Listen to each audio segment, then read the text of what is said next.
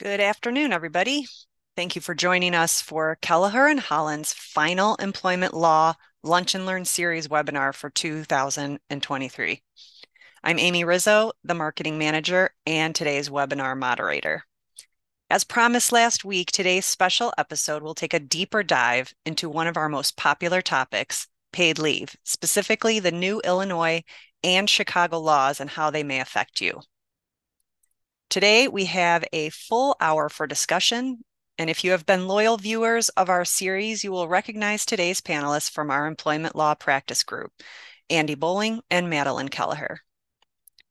Please submit any questions you may have during the presentation through the Zoom control panel using the Q&A button. We will try to get to them at the end, but if time is tight, we will follow up with you online, offline. So, Madeline, Let's revisit the Illinois Paid Leave for All Workers Act. What's the purpose of the act and what does it change? Thanks, Amy. Yeah, so on March 13th of this year, 2023, Governor of Illinois, J.B. Pritzker, signed the Paid Leave for All Workers Act. This act is the first statewide paid leave law in Illinois, which mandates paid leave for all employees or for employees to use for any reason of their choosing. The new act, including the paid leave accrual requirements, will take effect January 1st, 2024. So this means that prior to January 1st, 2024, all, and I emphasize all Illinois employers should review their current policies and procedures for compliance and take ne- the necessary actions that must be done in 2023.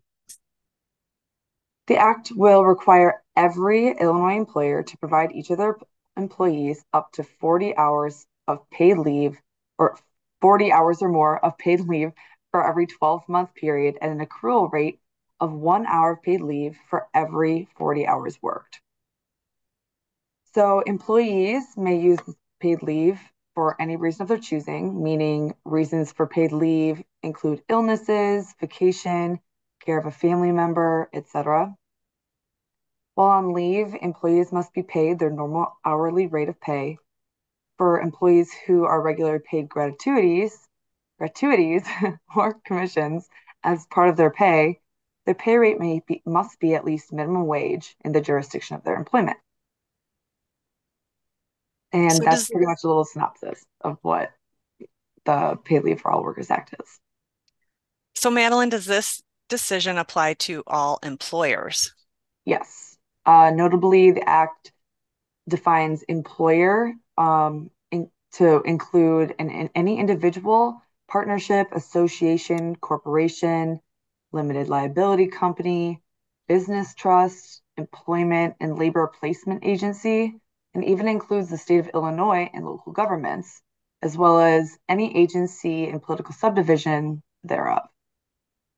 However, and spoiler, spoiler alert, if your company has a sufficient nexus with the City of Chicago, you will be subject to the more generous leave laws under the city law.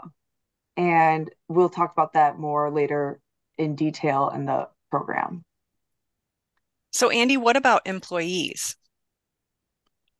Well, generally, yes, all employees, with very few exceptions, are covered. If you have one employee, assume that the new Paid Leave Act applies to you.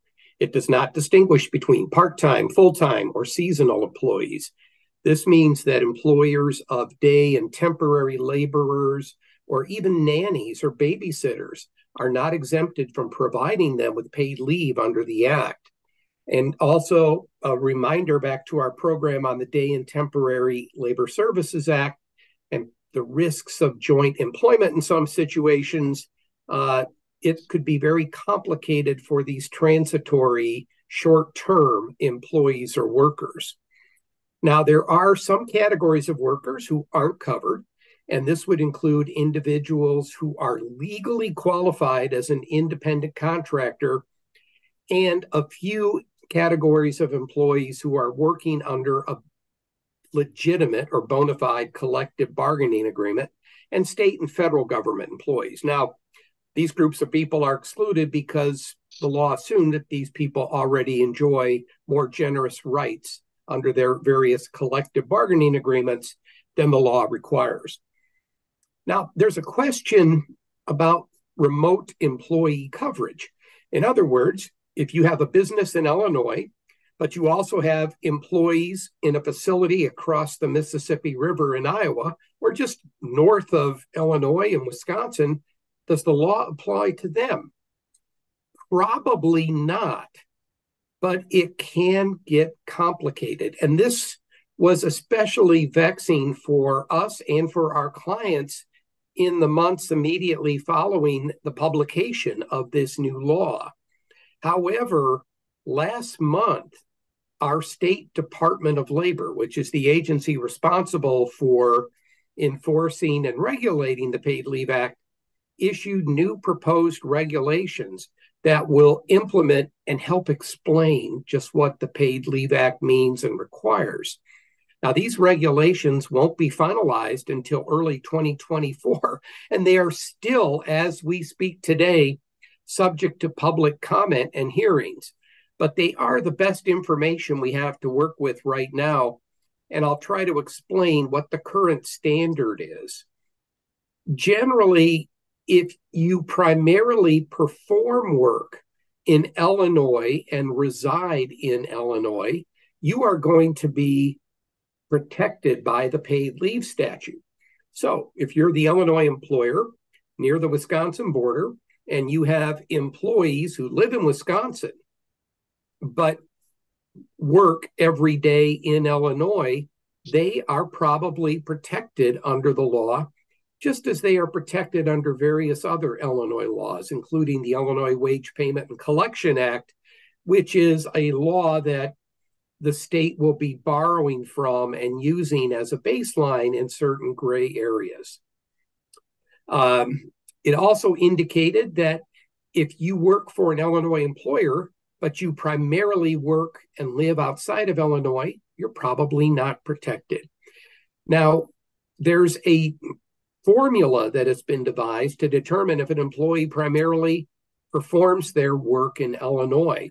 And it's a multi factor test that I'll try to summarize as follows it involves the ratio of work performed in the state of Illinois versus outside the state, and whether the work performed in Illinois is either isolated, temporary, or transitory.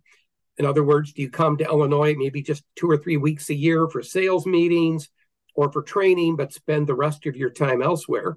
Probably not performing work in Illinois and whether the work you perform outside of Illinois is similar to what you do in Illinois. So, those are the three standards that are used. So, what happens if an employer already provides paid leave? Well, I'm going to alert this audience today about a potential trap for employers under this law. The law says if you already offered paid leave that is equal to or greater than the minimum requirements of the act, you really don't have to do anything. However, I think this is misleading because you have to make sure not only that you provide at least 40 hours of paid leave to your workers, but you also allow them to take this paid leave for any reason. And this is the big catch because most companies currently have vacation or other PTO policies that require some measure of advance warning or notice before you are authorized to use that time. And under the Paid Leave Act, there's different levels of advance notice that uh, an employer can expect. In other words, if you're going to uh, have a planned vacation, you should, you know, it's reasonable to ask, for example, for a week or two advance notice. But if you're taking time off because your child is sick and you need to stay home to care for them, you only have to give notice as soon as possible, which would mean the same day. And a lot of vacation policies aren't designed to cover that.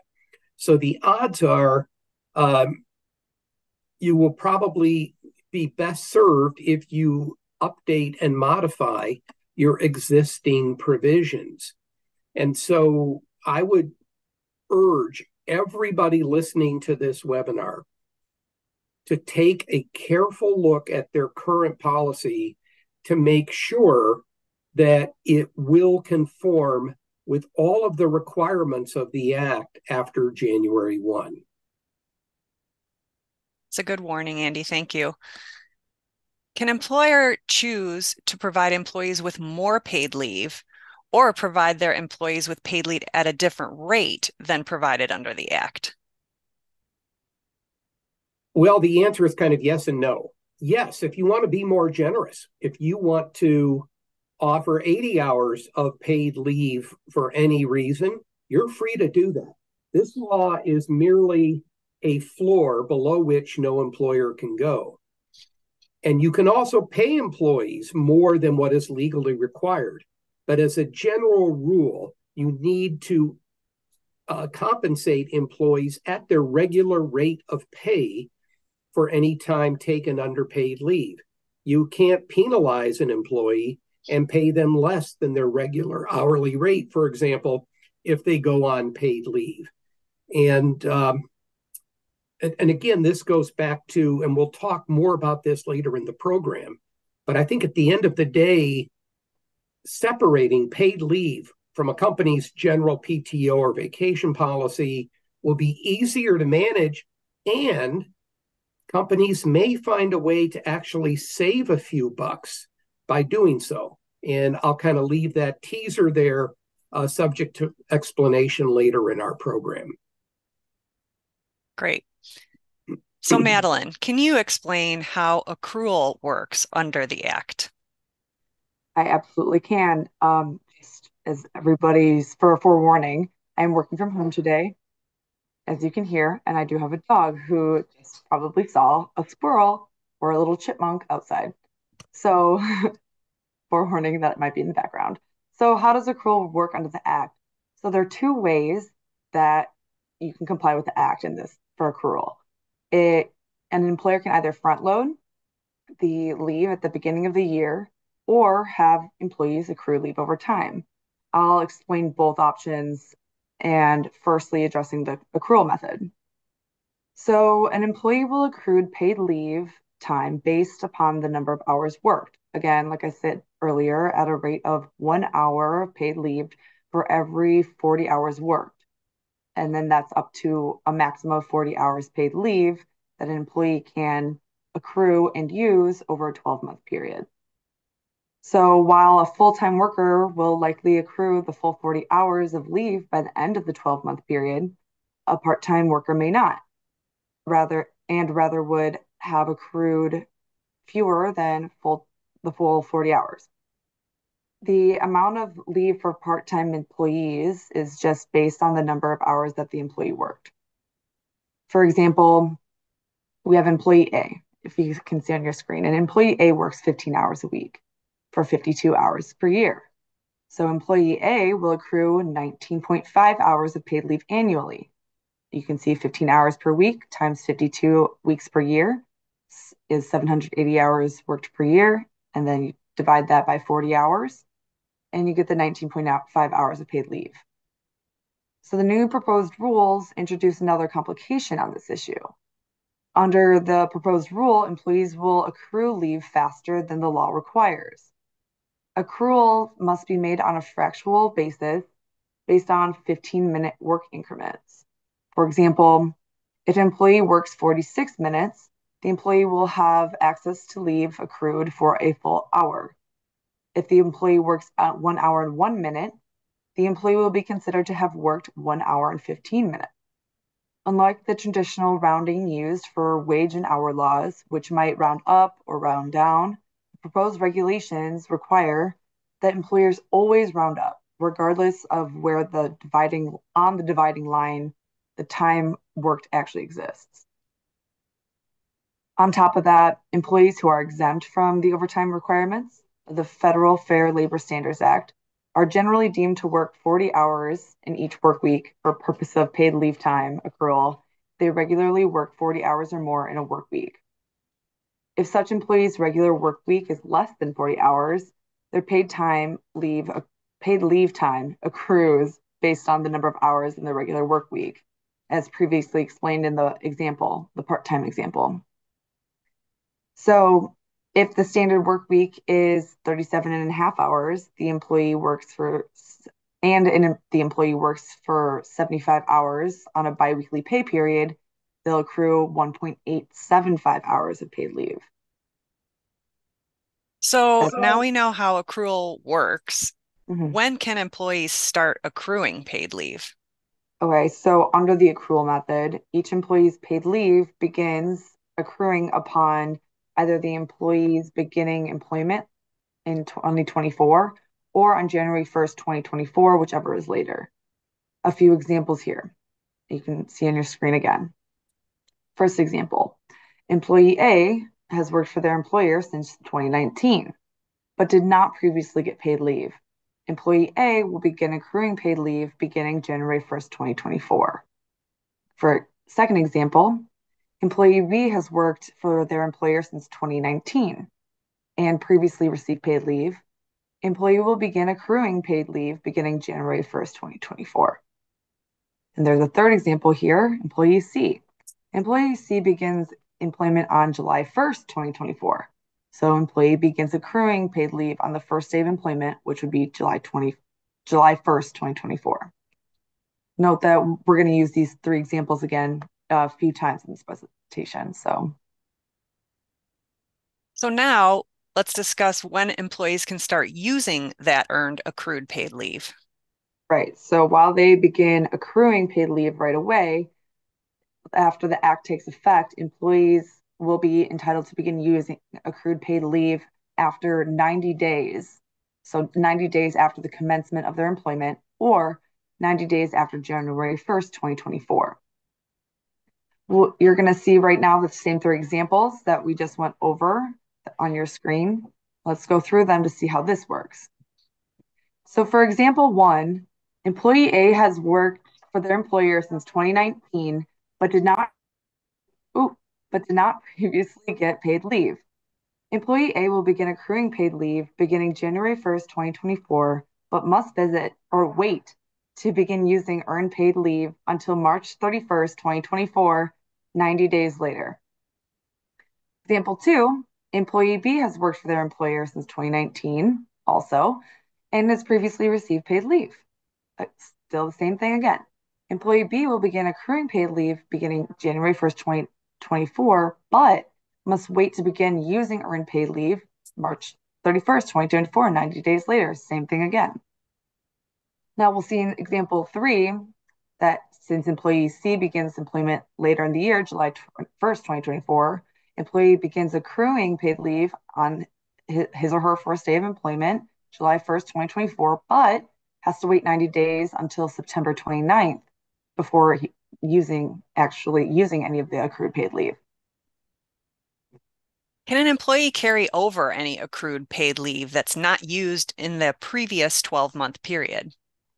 Under the accrual method, so we're still on the accrual method, um, employers must, and I repeat, must allow employees to carry over all unused paid leave from one 12 month period to the next.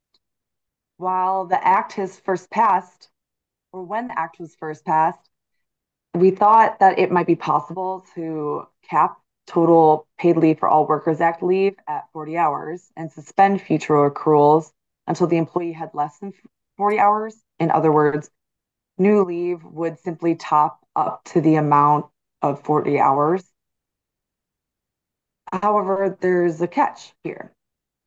So the proposed regulations indicate that, and I'm quoting here, employers may establish a reasonable policy restricting employees' ability to carry over more than 40 hours or more than 80 hours, excuse me, of unused paid leave. So at this point, the regulations do not provide any additional detail about the ability to impose a carryover cap, but another spoiler, spoiler alert, employers covered under the new Chicago paid leave law will have different outcomes. Can an employer institute a longer paid leave accrual introductory period than that under the Act? No, absolutely not. Paid leave must begin accruing no later than 90 days after the hire date, or must be begin accruing right away and then can be used no la- earlier or no later earlier than 90 days after their hire date or 90 days after January 1st, 2024, whatever's later. So to clarify that, we'll, we'll give you some, a little example here. So an employee cannot continue a one-year post-employment introductory time frame for paid leave to start accruing or beginning use to be used by the employee. The paid leave has to begin accruing right away and can, must be able to be used 90 days after the first day of employment or January 1st, 2024. So, can employers uh, designate any flexibility in their 12 month paid leave accrual period? Yes. So, some employers already offer their employees paid leave and use a different 12 month period. For example, um, using a work anniversary date uh, the employer's fiscal year or health plan year or some other 12 month period other than starting on the first day of the year. Under the Act, the 12 month period may be any consecutive 12 month period designated by the employer in writing at the time of hire upon or upon notice prior to the change. So to use a different 12 month period rather than starting over at January 1st, 2024, there are a few requirements. First, the accrual period must cover the 12 consec- uh, a 12 consecutive month period. The accrual rate still must not be less than one hour of paid leave for every 40 hours worked.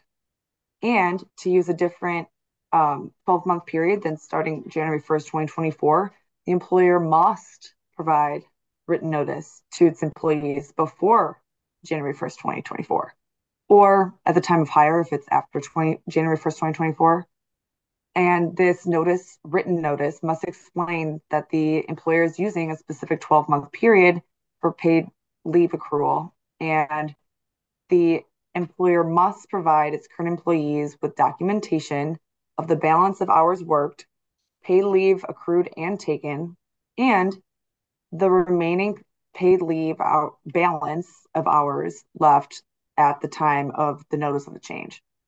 So, under these proposed rules, Employers must report the employee's paid leave accrual and remaining balance on each paycheck and provide these records to employees upon request. Alternatively, employers may report the accrual and balance on the form that the employer normally uses to notify the employee of wage payments and deduction, deductions from wages. This requires close continuation with your payroll consultation with your current payroll vendor. So, does this mean that an employer can no longer front load paid leave at the beginning of the year? Right. No, of course not. So, just like I was saying earlier, there's two ways to do it accrual method and front loading method. So, they can continue front loading paid leave if they do choose to do so. So, let's talk about the front loading method. Under this front loading method, employees, employers can take the minimum 40 hours of annual paid leave and make it available to their employees the first day of employment or the first day of their 12 month annual accrual period. So all employees still have that 90 day waiting period from January 1st, 2024, or the first day of their employment um, to start using their accrued or their the paid leave that they're given under the front loading method. Additionally, under this method, employers are not required to allow employees to carry over paid leave and may require employees to use all leave prior to the end of the year or forfeit the, any unused paid leave. So, employers using this front loading method cannot forget to track the actual hours worked by each employee because if an employee would have received more paid leave under the accrual method, then the employer must provide that additional time. So, do employers have any flexibility in designating the 12 month paid leave period under this front loading method? Yes. So, if an employer wishes to use a different 12 month period other than the beginning of the calendar year under this front loading method, the employer still has to meet similar requirements as that under the accrual method. So, First, the front loading period still has to cover 12 consecutive months, and the paid the front loaded paid leave must be at least 40 hours. Another requirement is that the employer must provide written notice again that to its employees and I'll emphasize one more time before January 1st, 2024, has to be before that all the uh, explaining that the employer is using a specific 12 month period of paid leave other than starting January 1st. And then the employer must also provide its current employees with documentation of the balance of hours worked, paid leave taken, and the remaining paid leave balance at the time of the notice of the change. So that's kind of a little bit about the flexibility of designating the 12 month period. So, are employers able to set a minimum number of paid leave hours that an employee can use in a day? Yeah. Uh, so, yes, they can. But while employees may determine what when they use the paid leave and how much they actually use in their reserved, accrued, or reserves front loaded, um, employers may set a maximum or minimum leave increment of up to two hours per day. So, in other words, an employer may require that an employee use at least two hours of paid leave on any given single day, even if they're stepping out for about 30 minutes. So it's a two hour increment that must be taken. Um, so, a quick example of that the employer has a doctor appointment, needs only one hour. If the employer does set that two minimum paid leave requirement, the employee will use two full hours of paid leave for that doctor appointment. Um, and that's just kind of how it goes. It's just two hours increment or less. Can't can't be more than that. Are there any notice or record keeping requirements under the Act? Yes. So you probably won't be surprised that there are many requirements here. So under the Act, employers must satisfy a few notice requirements. Um, they have to post an Illinois Department of Labor provided notice in a conspicuous place in the work on the work premises and include a copy of the notice in a written document, manual, or employee manual or handbook or policy. The notice has to be provided in English and any other language, any and all other languages commonly spoken in the workplace. Um, they can for their policies, they have, can provide must provide a written policy that contains notice procedures for employees if they the employer already has a policy or requires policies. Um, for record keeping, they have to maintain accurate records showing the number of hours worked, the paid leave accrued and used, and any remaining leave balance. And these proposed regulations require several additional requirements. So the new proposed regulations that the Illinois Department of Labor just provided to us. So they um, require that employers provide employees with paid leave policy prior to or upon commencement of employment or within 90 days after the effective date of the act. And employers that regularly communicate with employees by electronic means must provide the notice by the, this regular electronic method. Um, they must also post a statement written by the employer summarizing the employer's written policy and how an employee can obtain a copy of this policy document. The statement has to be provided in, in English and any other language commonly spoken in the workplace. They are required to report the employee's paid leave accrual and remaining balance on each pay stub and provide these records to the employee upon request. So it, alternatively to doing the reporting of the paid leave accrued and remaining balance on pay stubs, employers can report the actual the accrual and balance, the accrued paid leave and the remaining balance on the form that the employer normally uses to notify an employer of wage payments and deductions of wages. Deductions from wages, sorry. Um, the records have to be kept for at least three years and have to be available for inspection by the Illinois Department of Labor. And then if an employer uses the accrual method, the employer has to keep the records for three years and for it to be available for the employee upon request. Will paid leave provided under the Act be required to be paid out upon an employee's termination or resignation or retirement? So this depends. Um, employers, if the employers address the Paid Leave for All Workers Act in a separate policy, the accrued and unused Paid Leave for All Workers Act days do not have to be paid out at termination.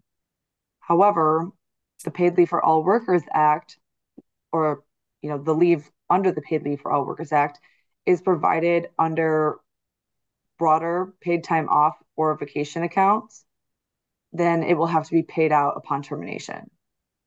So if the employer is obligated to pay an employee unused accrued paid leave upon termination, resignation, or retirement, there are two considerations under the Paid Leave for All Workers Act. One, if the employer elects to use the front loading method and the employee uses all of their leave and then quits before the end of the 12 month period, the employer does not have to pay the employee any unused paid leave. So, also in this scenario, um, an employer may not make the employee re- repay paid leave time as benefits that have already been provided may not be retroactively diminished. So, if you front loaded, you gave the employee 40 hours and they only used half of that, 20, you don't you cannot require the employee to pay you back for those 20 hours you gave them that they didn't use by the end of the year. Another consideration um, is, you know, on the other hand, if the employer elects to use the accrual method and the employer lets an employee borrow against future accrual, meaning the employee's paid leave balance goes negative, then the employee quits while the paid leave balance is still negative, then the, the, in this scenario, then the employer may make the employee repay any and all borrowed accrued leave. So, and like really want to emphasize that this is only if the employer includes a future accrual borrowing provision in their written paid leave policy that also allows for the employee's repayment of borrowed accrued leave. And the employee agrees to that policy in writing prior to taking any leave. So, Andy, I'll let you jump back in here. What about counties and cities that already have an ordinance regarding paid leave? Which one do employers have to follow?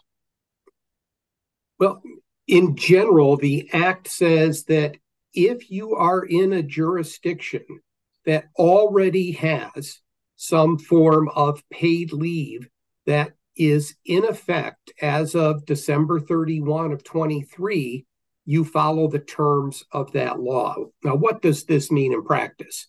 It means that if you are in Cook County and your local government is subject to the earned sick leave ordinance, you follow that. If you're in the city of Chicago, you follow their law. But if you're in Cook County in a city that has opted out of the county sick leave ordinance, you're going to have to introduce and comply with the Illinois Paid Leave Act. And that leads to Chicago, right? I mean, uh, the dominant force in our state. And uh, we'll talk about what's going on there. Now, this is a family friendly webinar. We realize there may be small children listening in with their parents to this program. So I'm not going to use some of the terms that some of my clients have shared when they're trying to grapple with how their businesses are going to comply with these new laws. I'm a movie buff. And at first I thought, well, it could be dumb and dumber, but no, I'm not sure that's right because I I think you know I'm going to borrow from one of my favorite movies, the A Legend of Ricky Bobby, and as Ricky Bobby is famous for saying, if you're not first, you're last. And so the city of Chicago doesn't want to be last to anybody. And so they have introduced what will be the most generous paid leave law in the United States of America. Now, they did all this starting November 9. And businesses were told you've got to update all of your leave policies by December 31. And breaking news two days ago on December 13, the Chicago City Council voted to delay their paid leave changes until July 1, 2024. Now, why is this a big deal and why are we talking about doubling down? Because the city of Chicago has had for several years a paid sick leave law that requires basically all employers to provide 40 hours of paid sick leave to covered employees within the city. When they got wind of the new state law, they decided that let's give some paid leave on top of our sick leave. So, what's new about Chicago is that in addition to the paid sick leave requirements of 40 hours per year, you have to give full time employees another 40 hours of paid leave that they can use essentially for any reason, be it extra sick leave or just as vacation. And this ordinance will replace the current paid sick leave ordinance on July 1. Um, and again, it, it, applies to any employer who has at least one employee with, you know, working in Chicago. Now, what does it mean to work in Chicago? I'll get to that in a little bit. Uh, and there are variations. If you're a small employer, meaning less than 50, you're subject to less restrictive rules. If you're a medium employer, which means you have between 51 and 100 employees, you have a greater set of rules. And if you're over 100, Katie bar the door, uh, you're subject to the full Monty of the law. Now, there was one silver lining, if you can call it that, when the city council pushed back the effective date to July 1. And in doing that, they changed who is a covered employee. Because on November 9, when this law was passed, they said a covered employee is any employee who spends at least two hours in any given work week performing work within the city limits, which would, if introduced in that language, expand the universe of covered employers to a number of businesses who thought they would never be subject to Chicago employment laws. The city has walked that back a bit, but it's still a pretty ominous standard. And under the new standard, a covered employee is any individual who works at least 80 hours for an employer within any 120 day period while physically present within the geographic boundaries of the city of Chicago.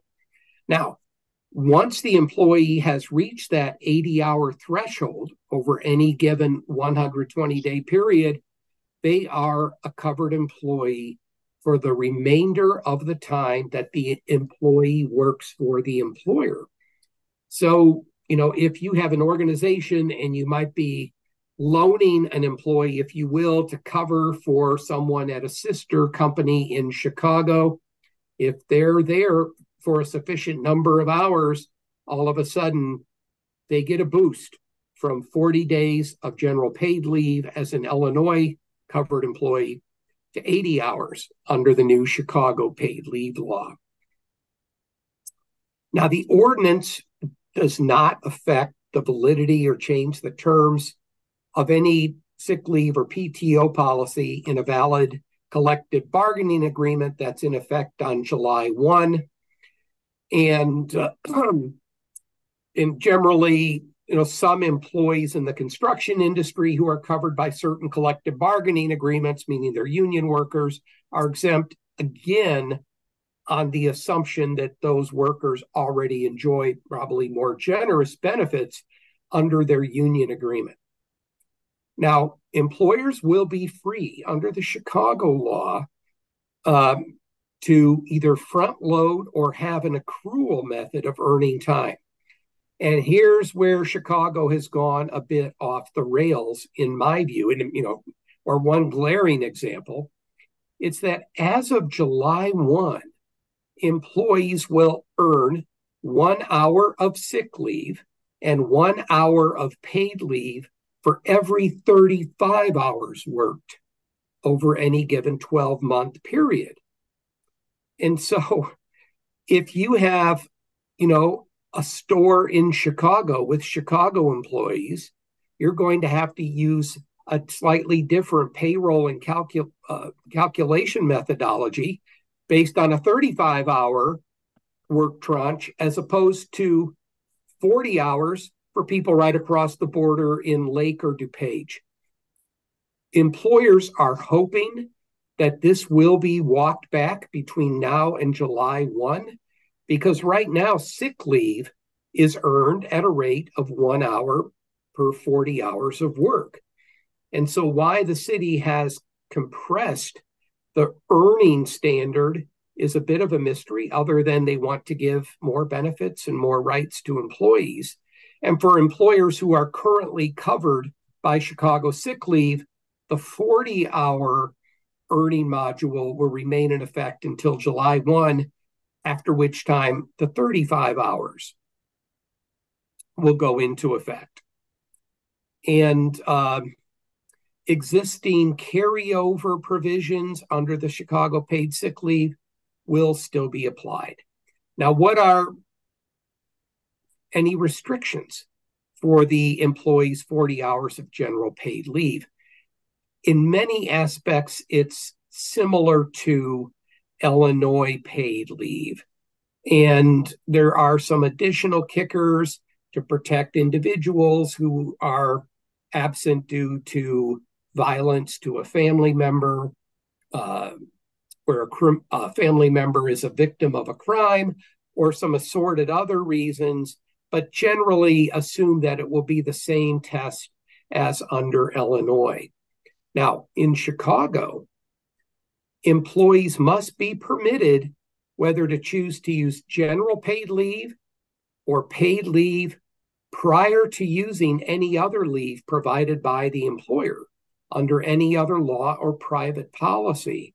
And it's not clear yet whether the city is going to allow the stacking of leave, if you will, uh, in these scenarios. And so watch this space. Uh, there will be a burst of activity or several bursts between now and July 1. However, there's a few guidelines that we that are in the law. You can prohibit employees from taking any general paid leave until after their 90th day of employment and any accrued paid sick and safe leave. Safe leave is essentially you need leave as a victim of a crime or as a someone who's experiencing uh, domestic violence that can be used after 30 days of employment. So, isn't it nice that Illinois at least has one consistent 90 day standard before using?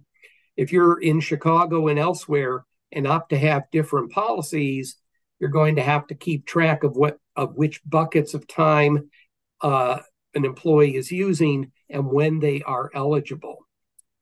Um, you can require up to seven days' notice and reasonable pre approval to maintain continuity of operations before an employee takes general paid leave, uh, unless you have an unlimited PTO policy, in which case you may not require pre approval. Uh, you can require up to seven days' notice of foreseeable sick and safe leave, i.e., pre scheduled medical appointments, or court dates. Otherwise, notice as soon as is practical, which will likely be day of, for unforeseen sick and safe leave.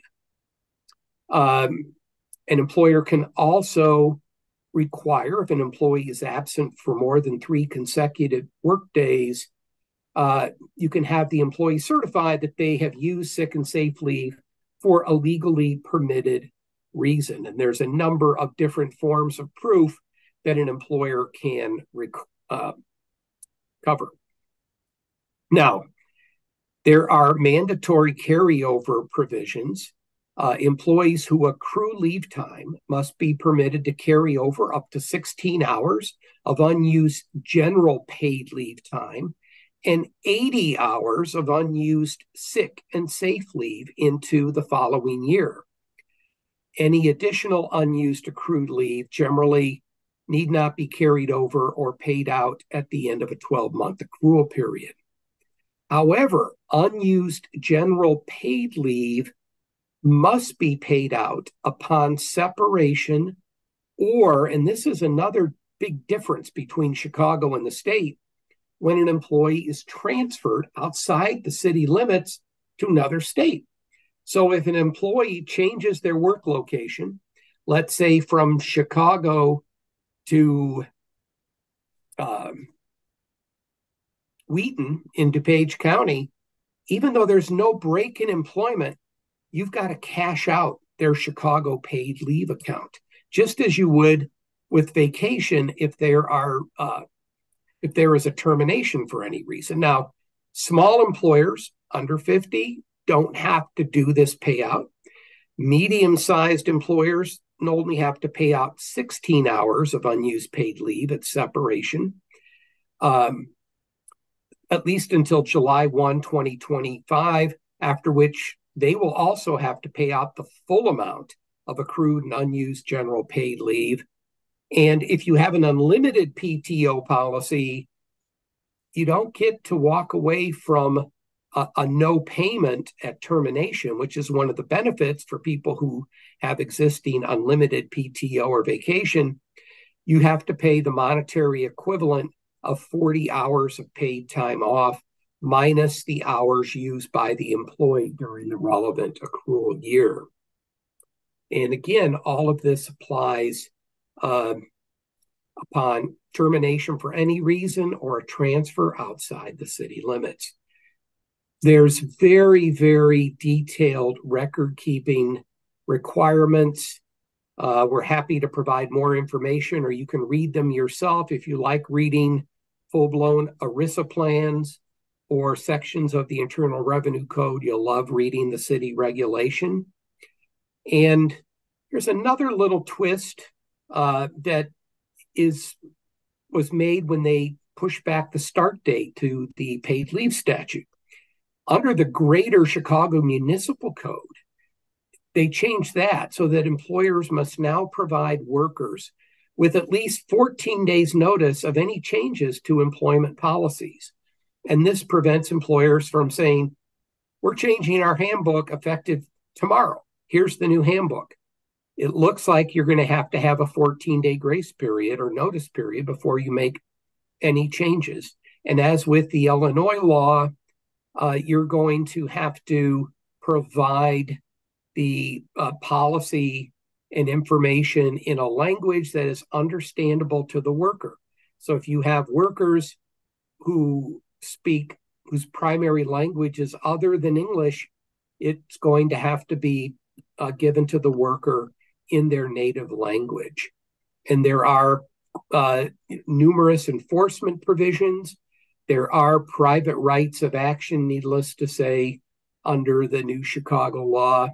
It's going to keep employers and lawyers who represent employees and unions and lawyers who represent management very busy over the next few years as everyone tries to understand and keep up with this new law. So let's get to the consequences of not complying with this act. Um, okay, so for non-compliance with the Act, the Illinois Department of Labor is charged with administering and enforcing the Act. Um, employees may file complaints with the Illinois Department of Labor within three years of an alleged violation of under the Act or alleged violation of the Act, and the Illinois Department of Labor may refer such violations to admin, an administrative law judge to schedule a formal hearing.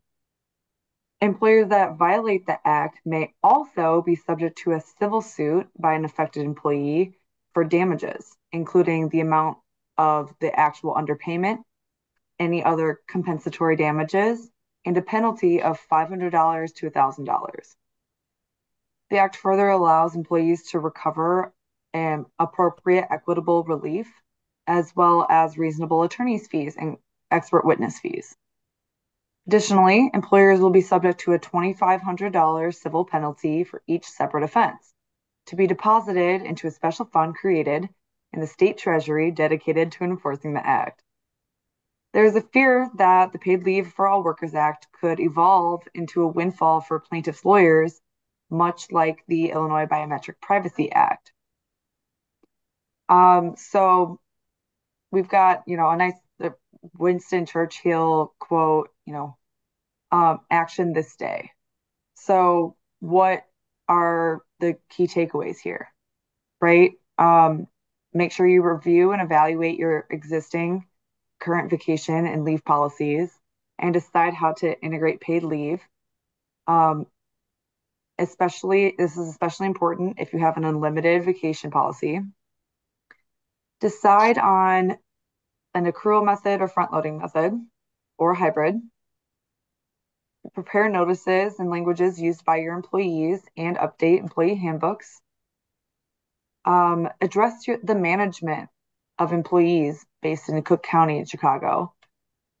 Decide what to do with non Illinois employees or ask for advice from an attorney. Um, consult with your attorneys regarding the entirety of this act and how paid leave or how it applies to you. Um, because just as Andy was saying earlier, even if you already have uh, an established policy that complies with the minimum requirements for existing policies on the Act and doesn't have to be changed further, the Act also provides that the ordinances, that your local city and state or county ordinances, if they are established, may override the Act. And, you know, you have to comply with the state and local ordinance and not just the Act. Make sure you talk to an attorney about where you stand. Um, and then remember that the December 31st and July 1st are the deadlines for the new Chicago paid sick leave and um, paid leave. Uh, uh, they're just you know, for the for the new ordinance to come into play, and for the new Illinois Paid Leave for All Workers Act to come into play. So, not surprisingly, that was a lot of information. So, we've got some questions that have come in throughout the presentation. So, we have a little time left, so we will try to address as many as we can get to. So, let's get to the first one here. Can an employer deny paid leave for all workers act leave? You know, I'll I'll take that one, Amy and Madeline. Uh, yes, uh, the, the act in its original language under Section 15H, it permits employers to have the prior notice requirements that we've talked about. Uh, and, it, and those prior notice requirements hinge on whether leave is foreseeable, i.e., we're going on a family vacation, uh, or unforeseeable, I woke up and I tested positive for COVID, or uh, I had a family emergency uh, where the standard is give notice as soon as as possible. Uh, you cannot deny leave simply because the request does not meet the company's own foreseeability and notice requirements. However, the new rules create a sliver of an opening for companies that want to say, hey, it is our busy season and nobody can take time off during this window of time. Now, again, it's a sliver of an opening, but the bar that is in place right now, it will depend, you know, kind of as follows. And, and this is on, you know, a legitimate assessment of the company's operational needs. But here's the standard. And this could be a real problem for most private employers. Does the company provide a need or service that is critical to the health, safety, or welfare of the people of Illinois? Now, you know, read literally, you might think, you know, if you're in the business of, uh, you know, you know, making sporting goods equipment, is that mission critical? Uh, maybe not. Uh, but if you're, you know, supplying medical equipment that is needed for Illinois hospitals, first responders, perhaps yes. Uh, does it mean if you're in a busy season at work because tax filings are due. Not sure that applies, but we do have this to remember that the definition, if we look back to COVID, and folks, it wasn't that long ago, um, there was a much broader uh, scope of companies that were viewed to have critical importance. Uh, and, and this included like law firms, for example, and other professional service firms that I think many folks thought probably wouldn't be classified in this category. So use this with care. The other standards are going to be easier to reach if once you get over this mission critical test, and that is whether other similarly situated employees are treated the same for purposes of uh, giving a thumbs up or thumbs down to paid leave, and whether uh, granting leave during that time frame would significantly impact your operation because you're a small size. So if you're a mega corporation and you have 10,000 employees Illinois in Illinois, and uh, you're missing one person in a factory, but you have 300 other factory workers? Probably not. But if you're in a mom and pop operation and that person is your only person involved in making your widgets, that would be more disruptive and you might be able to satisfy that last test. And then, of course, you have to make sure that the employee has an adequate opportunity to use all of their paid leave that they are entitled to receive over a 12 month period. So, you know, again, there's a there's hope, but be very careful before you decide to try to exercise this option. We've got another question here. If an employee requests sick leave prior to using all 40 hours of paid leave, will the sick leave use up the paid leave? Uh, you know, I'll, I'll kind of jump in on this one as well, Amy and Madeline. Yes. Hmm. Uh, if you've got your policies written right and you offer extra paid sick leave, you can uh, say that paid sick leave, for example, can only be used upon exhaustion of uh, statutory leave, and the same thing for vacation. Paid sick leave is not in addition to paid leave. And this is why we think it's a good idea to evaluate your current policies to see where you can, you know, create some different boundary lines. And again, for people outside of Chicago, avoid having to pay out accrued and unused general Illinois paid leave. Great. That pretty much takes us up to our time. Uh, so I want to thank you, panelists Andy and Madeline, once again for supplying us with valuable and very timely information. Thank you, listeners, for attending today. And if you have any concerns with how these laws apply to you, you can contact our speakers directly if you need additional assistance. I've put their contact information on the screen. And that wraps up our series for the year. Check your inbox or our social media pages for details on future webinars. And we hope you have a great rest of your day and Happy New Year.